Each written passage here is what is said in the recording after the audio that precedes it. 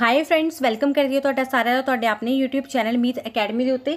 ਅੱਜ ਦੀ ਇਹ ਵੀਡੀਓ ਤੁਹਾਡੇ ਲਈ ਬਹੁਤ ਜ਼ਿਆਦਾ ਇੰਪੋਰਟੈਂਟ ਹੋਣ ਜਾ ਰਹੀ ਹੈ। ਪੰਜਾਬ ਦੇ ਇੱਕ ਡਿਪਾਰਟਮੈਂਟ ਦਾ ਰਿਜ਼ਲਟ ਡਿਕਲੇਅਰ ਕੀਤਾ ਗਿਆ ਹੈ ਹੁਣੇ ਹੁਣੇ ਕੀਤਾ ਗਿਆ ਹੈ ਕਿੱਦਾਂ ਤੁਸੀਂ ਚੈੱਕ ਕਰਨਾ, ਕਿਹੜੇ ਡਿਪਾਰਟਮੈਂਟ ਦਾ ਇਹ ਰਿਜ਼ਲਟ ਆਇਆ ਹੋਇਆ ਹੈ ਸਾਰਾ ਮੈਂ ਤੁਹਾਨੂੰ ਬਰੀਫ 'ਚ ਦੱਸਾਂਗੀ। ਵੀਡੀਓ ਨੂੰ ਪੂਰਾ ਜ਼ਰੂਰ ਵੇਖਿਓ। ਇਸੇ ਤਰ੍ਹਾਂ ਤੁਸੀਂ ਚਾਹੁੰਦੇ ਹੋ, ਪੰਜਾਬ ਸਟੇਟ ਦੀ ਹਰ ਰਿਕਰੂਟਮੈਂਟ ਦੀ ਜਾਣਕਾਰੀ ਤੁਹਾਡੇ ਤੱਕ ਸਭ ਤੋਂ ਪਹਿਲਾਂ ਪਹੁੰਚ ਜਾਵੇ ਵਿਦ ਆਫੀਸ਼ੀਅਲ ਨੋਟੀਫਿਕੇਸ਼ਨ ਤਾਂ ਜਲਦੀ ਚੈਨਲ ਨੂੰ ਸਬਸਕ੍ਰਾਈਬ ਕਰੋ। ਨਾਲ ਬੈਲ ਆਈਕਨ ਨੂੰ ਜ਼ਰੂਰ ਪ੍ਰੈਸ ਕਰਨਾ। ਇਹਦੇ ਨਾਲ ਤੁਹਾਨੂੰ ਫ੍ਰੀ ਦੇ ਵਿੱਚ ਨੋਟੀਫਿਕੇਸ਼ਨ ਆਉਂਦੇ ਰਹਿਣਗੇ।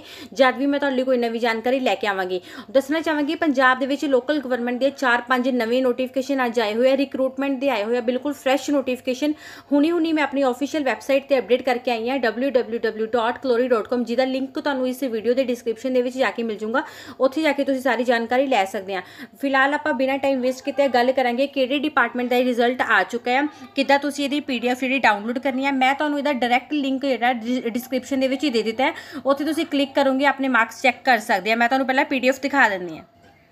ਤੁਸੀਂ ਦੇਖ ਸਕਦੇ ਆ ਆਪਾਂ ਆਫੀਸ਼ੀਅਲ ਸਾਈਟ ਤੇ ਆ ਚੁੱਕੇ ਆ ਜਿਹੜਾ ਮੈਂ ਤੁਹਾਨੂੰ ਲਿੰਕ ਇਸ ਵੀਡੀਓ ਦੇ ਡਿਸਕ੍ਰਿਪਸ਼ਨ ਦੇ ਵਿੱਚ ਹੀ ਦਿੱਤਾ ਹੈ, ਉਹ ਉਹ ਉਸ ਤੇ ਕਲਿੱਕ ਕਰਨ ਤੋਂ ਬਾਅਦ ਤੁਹਾਡੇ ਕੋਲ ਇਸ ਤਰ੍ਹਾਂ ਦਾ ਕੁਝ ਇੰਟਰਫੇਸ ਓਪਨ ਹੋਊਗਾ। ਥੋੜਾ ਜਿਹਾ ਨੀਚੇ ਸਕਰੋਲ ਕਰਨ ਤੋਂ ਬਾਅਦ ਤੁਸੀਂ ਇੱਥੇ ਦੇਖ ਸਕਦੇ ਇੱਕ ਲਿੰਕ ਦਿੱਤਾ ਹੋਇਆ ਆ।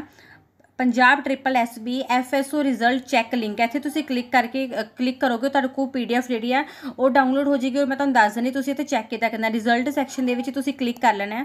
ਕਲਿੱਕ ਕਰਨ ਤੋਂ ਬਾਅਦ ਆ ਫਰਸਟ ਵਾਲਾ ਲਿੰਕ ਹੈ, ਹੁਣੇ ਹੁਣੇ ਰਿਜ਼ਲਟ ਆਇਆ, ਇੱਥੇ ਤੁਸੀਂ ਕਲਿੱਕ ਕਰਕੇ ਜਿਹੜੇ ਆਪਣੇ ਮਾਰਕਸ ਚੈੱਕ ਕਰ ਸਕਦੇ ਆ।